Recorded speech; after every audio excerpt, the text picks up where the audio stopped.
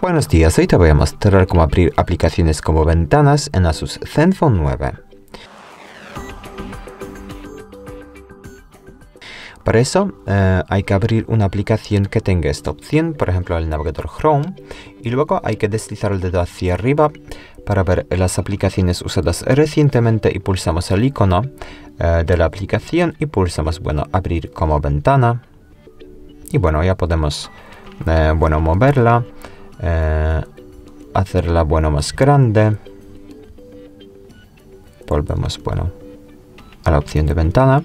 Podemos eh, bueno quitarla de la, eh, de la pantalla y colocarla bueno colocarla como icono. Y para salir de aquí bueno hay que simplemente pulsar aquí arriba a la derecha.